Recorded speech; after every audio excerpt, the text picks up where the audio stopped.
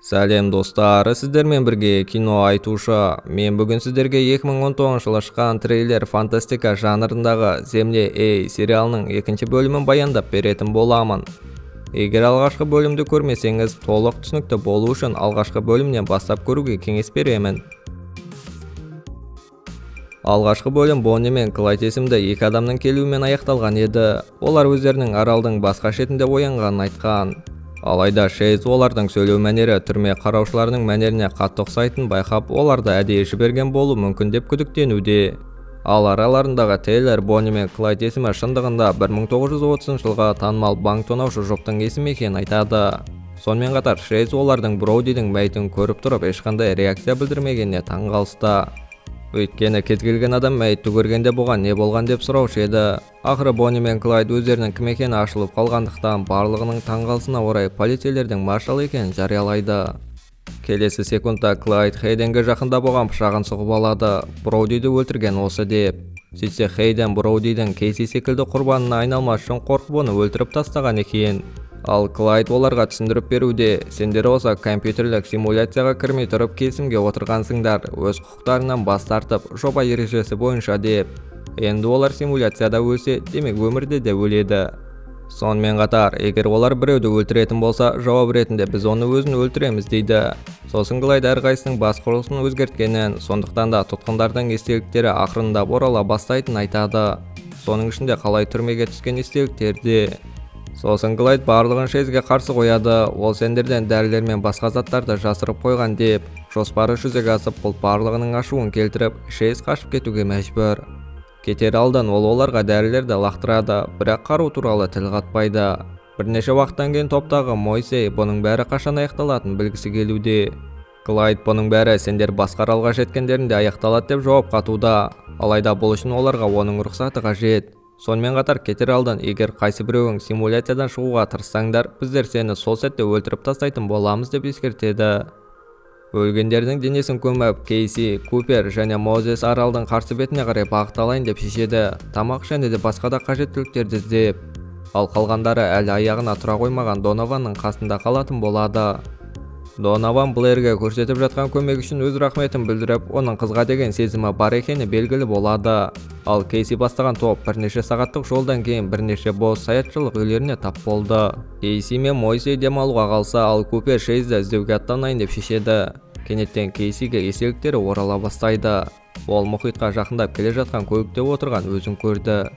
Лагерге оралған жас жігіт мейсонға да естеліктері оралуда. Ол өзін супермаркетке винтовкамен басып кіргенін және өз жолындағының бәрін атып жатқанын көреді.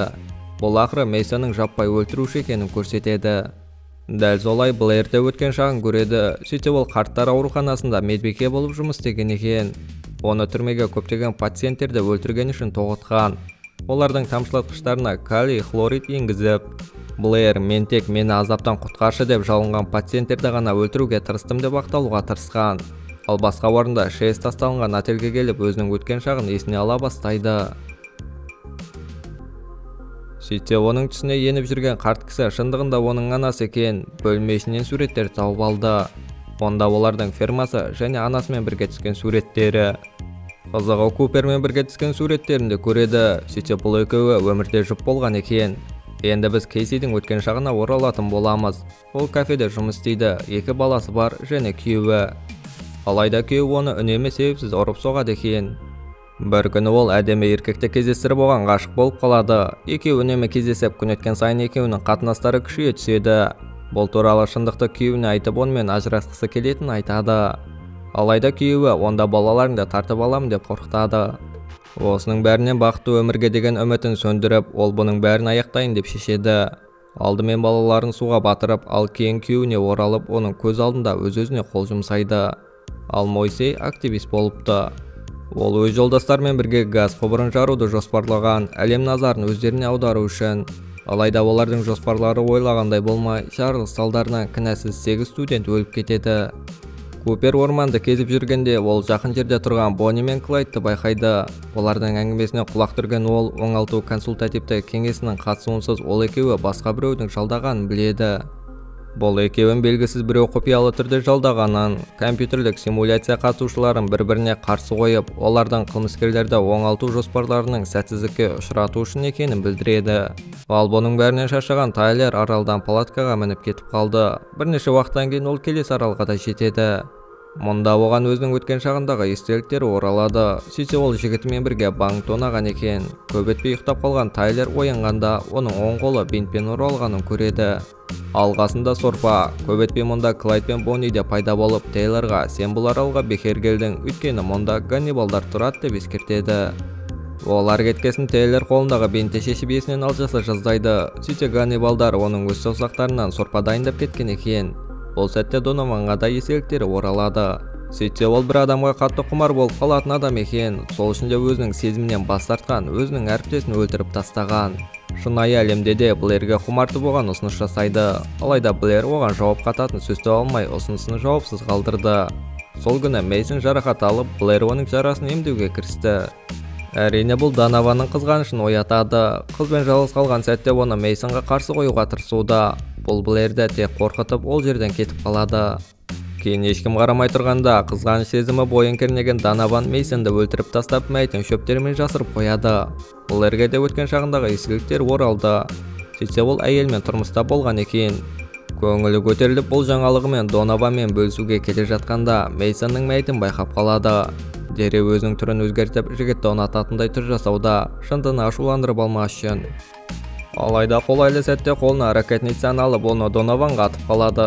Ал купер шейзбен қосылып екеуі бірге өздерінің өткен шақтарын естеріне ала бастайды.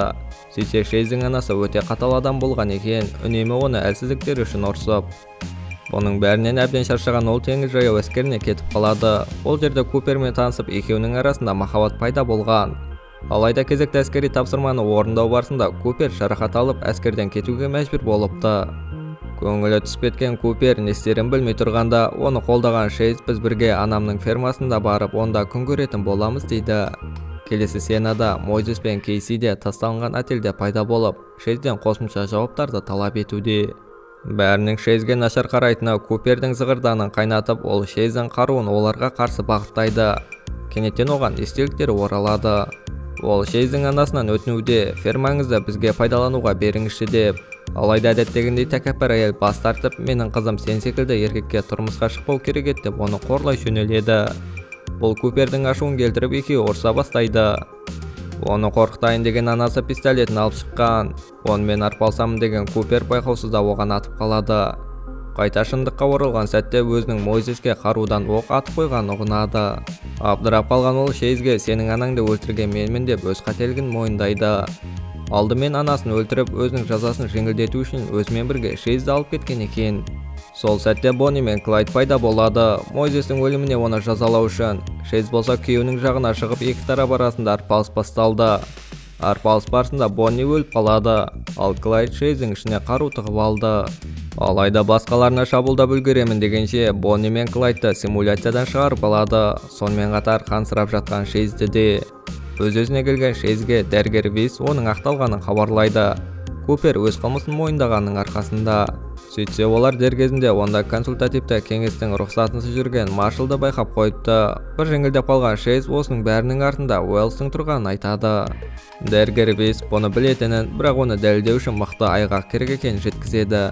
Сонымен қатар шейз шындығында аралда жүргендердің бәрі өлім жазасына кесілгендерін біледі. Олардың барлығы аралға ерікті түрде аттанған өйткені бұл олардың күнәларын жуып шаятын жалғыз мүмкіндіктері болыпты. Ал уэллс бұл уақытта өзінің арты ашылып қалғанын біліп шейзбен келіспек. Әйелге сенің анаң саған бір тиын да қалдырмаған сондықтан да түрмеден шыққанда ештеңесіз қаласың. Егер мені ештеңеге айыптамасаң мен саған көмектесе алатын боламын деп ұсыныс жасайды. Сонымен қатар егер мені айыптайтын болсаң мен сенің өміріңді тозаққа айналдырамын деп қорқытады. Шейз принципке адал адам екенін білетін ол әдейі оңалту жобасын құртқысы келгенін өйткені аралға түскендердің бәрі өмір сүруге лайық емес жаман адамдар екенін айтып ақталады шейз келіседі бірақ өз талабы бар. Олар куперді босату қажет барлығын өзі шеше алу үшін. Таңғаларлығы уэллс келісіп шейз кеңестің алдында куәгерлік ете бастайды. Алайда шейздің келісімнің бір бөлігін орындамай жатқанын байқап уэллс үзіліс жариялайды. Ол шейзді бір бұрышқа апарып оны уландырмақ. Алайда дер кезінде дәрігер вейс пайда болып оны қылмыс үстінден ұстап алады. Енді кеңестің алдында сөйлейтін кезек уэллсте ол ақыры симуляцияны өткізуге кедергі болғанын сол үшін де аралға каннибалдарды енгізіп қойғанын мойындайды. Кейінірек вейс шейзді алып кетіп оған айнаға қарауды өтінеді. Ол өзінің 25 жасқа кәрі екенін көреді және бұл шейздің нағыз кейпі. Осы жерде біз шейзді түрмеге отырғызып аралға жібергеннен бері 25 жыл өткенін білеміз. Бұны естіген шейз әділеттілікті талап етуде оны сабырға шақырған вейс оны түрмеден алып шығады. Финалдық сценада біз қалай уэллсті аралда кейси мен купер күтіп алғанын көреміз. Егер осындай видеоларды жиі көргіңіз келсе каналға жазылып лайк басуды ұмытпаңыз. Қоңыраушаны қосып қойыңыз. Сіздермен бірге болған кино айтушы